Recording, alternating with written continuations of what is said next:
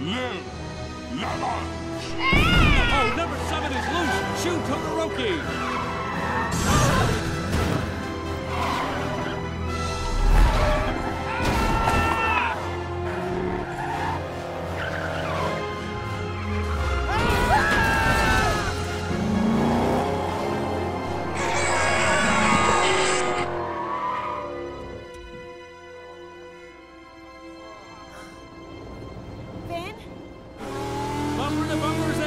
finish line. McQueen's the winner. Francesco's second, and they have no idea what happened behind them.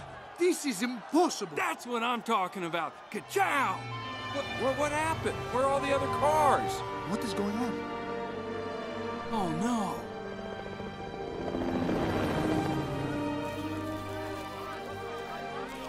Sir Axelrod, is the final race in London still going to take place? I suppose that.